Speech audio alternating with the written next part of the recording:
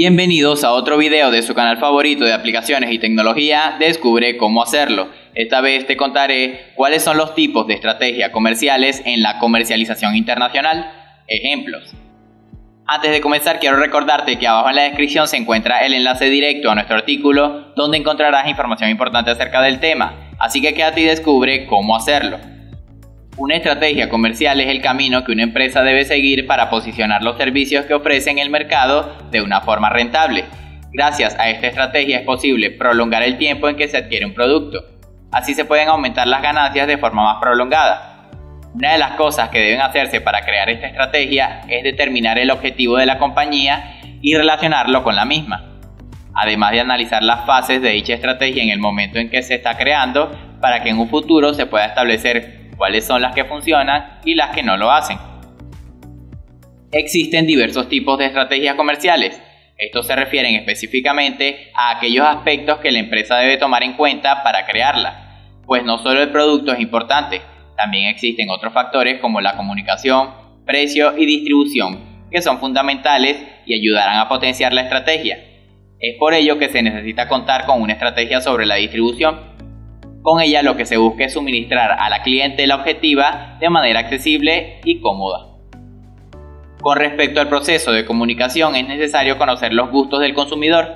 De esta forma se puede tener una clientela definida a la que serán mostrados los productos ideales para ellos. Al contar con esta información se puede establecer el precio del producto.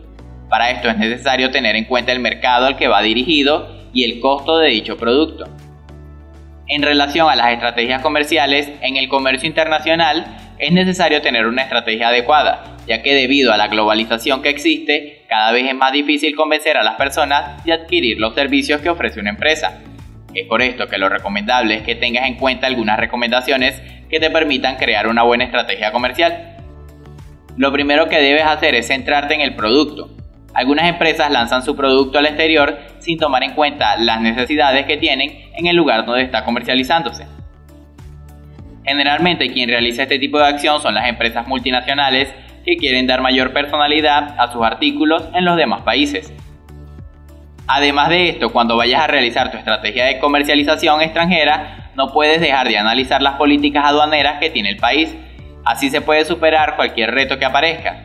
También es necesario que analices la competencia de mercado internacional, así podrás saber las fortalezas y debilidades que tiene tu producto frente a otros. Finalmente es importante que definas quiénes serán tus clientes, pues teniendo en cuenta sus necesidades es más sencillo para la compañía conseguir el mercado en el que se va a desenvolver. Por ello es recomendable que también te pongas en contacto directo con los clientes o con los agentes distribuidores que hacen llegar los productos a los mismos. Y de esta forma concluimos. Espero que haya sido de utilidad esta información. Si te ha gustado recuerda darle like, suscribirte y activar la campanita de notificaciones para que puedas seguir disfrutando del mejor contenido en Descubre cómo hacerlo. Adiós.